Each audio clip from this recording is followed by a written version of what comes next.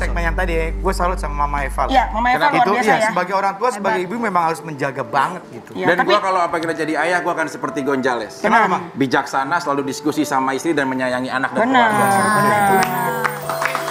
Bu kalau gue salutnya sama eh, Mbak Eva sama Gonzales adalah kesetiaan rumah tangganya ya. Maksudnya mereka Benar. bisa langgeng walaupun dengan dua budaya gitu. Oke. Mudah-mudahan kita juga iya. bisa. Jodoh. Nggak, lu nggak lu udah terlambat nggak? Kalau gue ngobrol sama Abi aja sama bertiga. Ah, mudah-mudahan kita bisa mengikuti beliau-beliau ini ya. Oke. Eh tapi kita juga, aku juga beda loh. Mas Adam. beda apa sih Nul? Iya Mas Adam kan itu. Lu mah udah dia ngagetin lu. Kali ini ada satu pasangan artis lagi yang hits tapi ternyata sudah putra alias sudah putus Putus. ya guys ya. Padahal mereka ta- tadinya nih udah pengen nikah banget. Siapakah mereka yang di fakta visual? Fakta visual, yuk!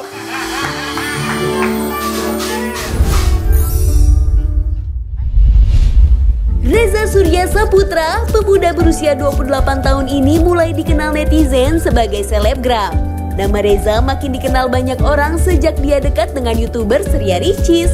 Bahkan mereka berdua digadang-gadang akan menikah karena sudah mendapat restu dari keluarga kedua belah pihak. Tapi sayangnya hubungan mereka harus kandas di tengah jalan. Kira-kira kenapa ya? Kita viralin aja yuk. Yes! Di waktu lalu menjadi pusat pemberitaan karena memang mempunyai hubungan dekat dengan Ria Ricis. Tapi benar nggak sih putus? Eh, eh betul, eh putus.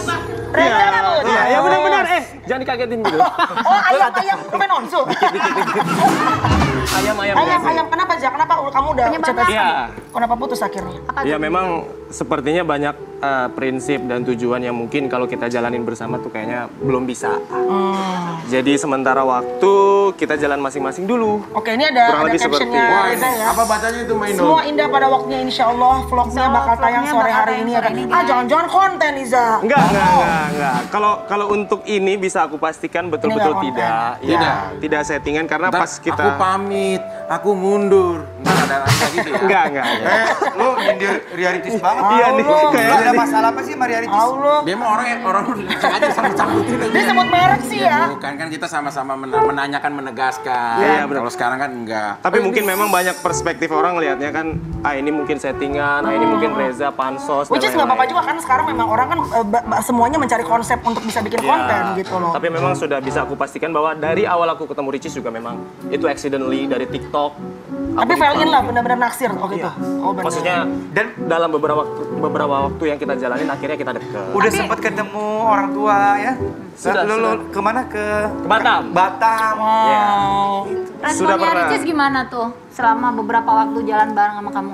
Iya kita happy ya, kita happy, kita menikmati setiap harinya kita ketemu dan alhamdulillah orang tua Icis juga waktu itu uh, positif sambutannya. Tapi memang beberapa hal dari kita pribadi itu kayaknya memang- Dari kalian berdua, perbedaan apa sih yang cukup mendasar nih?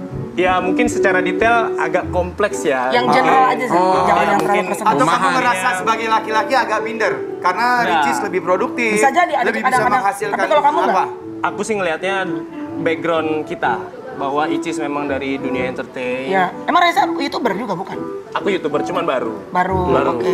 Bisa makan? Eh, kok dia kagetan banget tuh. Bukan karena KM. Lu maksudnya kalau mau, lu kalau ngomong sama Reza mukanya ke sini ya. Ya, Abi, Abi, Abi udah mulai Eh megang-megang kali-kali dulu. kali-kali minta kejelasan sama Ricis. Apa?